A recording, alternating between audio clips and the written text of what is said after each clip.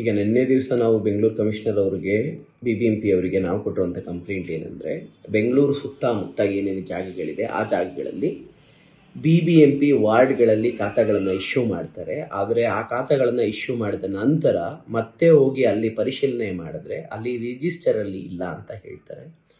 ಆಮೇಲೆ sub register ಆಫೀಸ್ಗಳಲ್ಲಿ ಆ ಡಾಕ್ಯುಮೆಂಟ್ಸ್ಗಳ ಮೇಲೆ ರಿಜಿಸ್ಟ್ರೇಷನ್ ಆಗಿರುತ್ತೆ, ಮತ್ತು ಖಾತಾ ರೆಸಿಟು ಪ್ರೊಡ್ಯೂಸ್ ಮಾಡಿರ್ತಾರೆ. ಏನಾದರೂ ತೊಂದರೆ ಆದಾಗ ಇವರು ಯಾರಿಗೂ ಕೂಡ, ಅಂದರೆ ಯಾವುದೇ ಒಬ್ಬ ಬಿ ಬಿ ಎಂ ಪಿ ಅಧಿಕಾರಿ ಆಗಲಿ, ಮತ್ತೊಬ್ಬರಾಗಲಿ, ಅಲ್ಲಿ ಸಿಬ್ಬಂದಿ ಆಗಲಿ, ಯಾರೂ ಜವಾಬ್ದಾರಿಯನ್ನು ತೆಗೆದುಕೊಳ್ಳೋದಿಲ್ಲ. ಯಾಕೆಂದರೆ ನಾವು ಗುತ್ತಿಗೆ ಆಧಾರದ ಮೇಲೆ ಕೆಲಸ ಮಾಡ್ತೀವಿ. ಕೆಲಸ ಮಾಡ್ತಿದ್ದಂತಹ ವ್ಯಕ್ತಿ ಬಿಟ್ಟು ಹೋಗಿದ್ದಾನೆ ಅದರಿಂದ ಏನು ಸಮಸ್ಯೆ ಇಲ್ಲ ಅಂತ ಹೇಳಿಬಿಟ್ಟು ಅವರು ತಪ್ಪಿಸ್ಕೊಂಡ್ಬಿಡ್ತಾರೆ. ಆದರೆ ಮಾರಿರೋವಂಥವ್ರು ಅಥವಾ ಅವರಿಗೆ ನಿಜವಾಗಿಯೂ ದುಡ್ಡು ಕೊಟ್ಟು ಖಾತಾ ಕೊಡ್ತಾರೆ ಅಂತ ಹೇಳಿ ಮಾಡಿಸ್ಕೊಂಡಿರೋವಂಥವ್ರು ಖಾತಾ ತೆಗೆದುಕೊಂಡು ಹೋಗಿ ರಿಜಿಸ್ಟ್ರೇಷನ್ ಮಾಡಿರೋವಂಥವ್ರು ಕೊಂಡ್ಕೊಂಡಿರೋವಂಥವ್ರ ಕತೆ ಮುಂದೇನು. ನಾವು ಈ ರೀತಿ ಪ್ರತಿ ದಿವಸ ಒಂದಲ್ಲ ಒಂದು ಫೈಲನ್ನು ನೋಡ್ತಾ ಇರ್ತೀವಿ. ಅದೇ ರೀತಿ ಈಗ ಕಂಟಿನ್ಯೂಸ್ ಆಗಿ ಇದು ನಡೀತಾ ಇರೋದ್ರಿಂದ ಇದಕ್ಕೆ ಸಂಬಂಧಪಟ್ಟಾಗಿ ನಾವು ಬೆಂಗಳೂರು ಕಮಿಷನರ್ ಅವರಿಗೆ ಕಂಪ್ಲೇಂಟನ್ನು ಕೊಟ್ಟಿದ್ದೀವಿ. ನಮ್ಮದೇ ಒಂದು ಪ್ರಕರಣದಲ್ಲಿ ಈ ರೀಸೆಂಟಾಗಿ ನಾವೇ ಒಂದು ಕೇಸನ್ನು ಹಾಕಿದ್ದೀವಿ. ಪಾರ್ಟಿಷನ್ಗೆ ಅಂತ ಕೇಸ್ ಹಾಕಿದ್ದೀವಿ.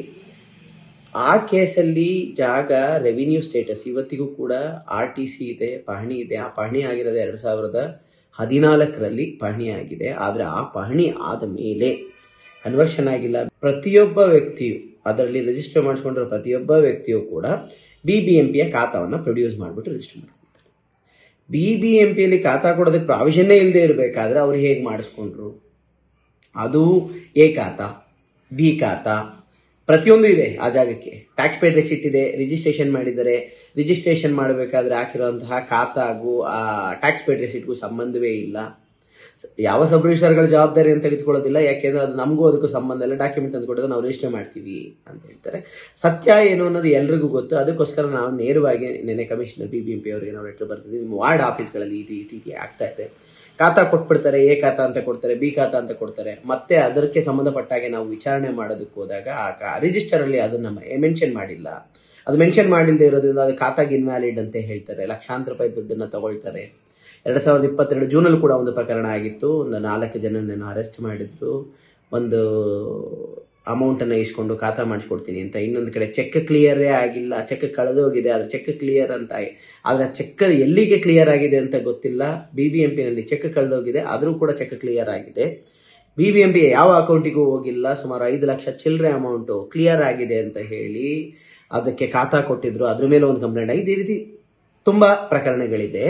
ಈಗ ಪ್ರಸ್ತುತ ಆಗ್ತಾ ಇರುವಂಥದ್ದು ಈ ಬೆಂಗಳೂರು ಸುತ್ತಮುತ್ತ ಬೆಳೀತಾ ಇರುವಂಥದ್ದು ಆ ಈ ರೀತಿ ನಾವು ಹೀಗೆ ಚೆಕ್ ಮಾಡ್ತಾ ಹೋದಾಗ ಎಲ್ಲೆಲ್ಲಿ ಹೇಗೆ ಆಗ್ತಿದೆ ಅಂದಾಗ ಯಲಹಂಕ ಹೋಬಳಿ ಇರ್ಬೋದು, ಜಾಲ ಹೋಬಳಿ ಇರ್ಬೋದು ಬ್ಯಾಟ್ರಾಯನ್ಪುರ ಕ್ಷೇತ್ರ ಇರ್ಬೋದು, ರಾಜರಾಜೇಶ್ವರ ನಗರದ ಅಲ್ಗೆ ಒಡೆರಳ್ಳಿನಲ್ಲಿ ಆಗಿದೆ.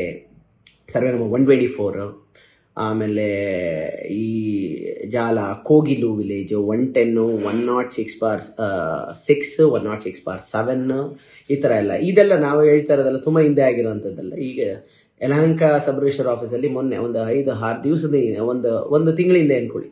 ಒಂದು ತಿಂಗಳು ಇಲ್ಲ. ನವೆಂಬರ್ ಇಪ್ಪತ್ತೆಂಟು, ಇಪ್ಪತ್ತೊಂಬತ್ತಕ್ಕೆ ರಿಜಿಸ್ಟ್ರೇಷನ್ಸ್ ಆಗಿದೆ. ಆಯಿತಾ? ಡಮ್ಮಿ ಖಾತಾನೇ ಹಾಕಿದ್ದಾರೆ. ಡಮ್ಮಿ ಸಾರಿ ಡಮ್ಮಿ ಅನ್ನೋದಕ್ಕಿಂತ ಅದು ಖಾತಾ ಇದೆ ಟ್ಯಾಕ್ಸ್ ಪೇಡ್ ಇದೆ, ಅದು ಚೆಕ್ ಮಾಡಿದ್ರೆ ಸಿಗ್ತಲ್ಲ ಅದು. ಆದ್ದರಿಂದ ಈ ಥರ ಪ್ರಕರಣಗಳೆಲ್ಲ ಕೊನೆ ಆಗಬೇಕು ಅಂತ ಹೇಳಿದ್ರೆ ಅದಕ್ಕೆ ಸಂಬಂಧಪಟ್ಟಾಗಿ ಅವ್ರು ಯಾವುದಾದ್ರೂ ಒಂದು ಕಾನೂನು ಕ್ರಮವನ್ನು ಕೈಗೊಳ್ಳಬೇಕು ಮತ್ತು B B M P officials ಏನಿದ್ದಾರೆ ಸಬ್ ರಿಜಿಸ್ಟರ್ಸ್ ಏನಿದ್ದಾರೆ ಪ್ರತಿಯೊಬ್ಬರನ್ನೂ ಕೂಡ ಅದಕ್ಕೆ ನೀವು ಅವ್ರನ್ನ ಜವಾಬ್ದಾರರನ್ನಾಗಿ ಮಾಡಬೇಕು. ಅದನ್ನ ಬಿಟ್ಬಿಟ್ಟು ಕೊಂಡ್ಕೊಂಡವ್ರಿಗೆ, ತಗೊಂಡವ್ರಿಗೆ ನಾವು ಕಾನೂನು ಕ್ರಮ ಕೈಗೊಳ್ತೀವಿ ಅಂತ ಹೇಳಿದ್ರೆ ಅಧಿಕಾರಿಗಳು ಭಾಗಿಯಾಗಿ ಬೇರೆಯವ್ರ ಮೇಲೆ ಮಾತ್ರ ಕಾನೂನು ಕ್ರಮ ಕೈಗೊಳ್ಳೋದಲ್ಲ. ಬಿ ಬಿ ಎಂ ಪಿ ಅಧಿಕಾರಿಗಳು sub registrar I G R ಯಾರೇ ಇರಲಿ, ಇದಕ್ಕೆ ಸಂಬಂಧಪಟ್ಟಾಗ ಯಾರೇ ಇರಲಿ ಎಲ್ಲರ ವಿರುದ್ಧ ಕಾನೂನು ಕ್ರಮ ಕೈಗೊಳ್ಳಿ ಅಂತಲೇ ನಾವು ಹೇಳ್ತಾ ಇರೋದು. ಹಾಗಾದರೂ ಇವರಿಗೆ ಸ್ವಲ್ಪ ಭಯ ಬರಲಿ ಅನ್ನೋ ಉದ್ದೇಶದಿಂದಲೇ ನಾವು ಕಂಪ್ಲೇಂಟ್ ಕೊಟ್ಟಿದ್ದೀವಿ ಎಲ್ಲ ದಾಖಲಾತಿಗಳನ್ನು ಕೂಡ ನಾವು ಕಮಿಷನರ್ ಅವರಿಗೆ ಕೊಟ್ಟಿದ್ದೀವಿ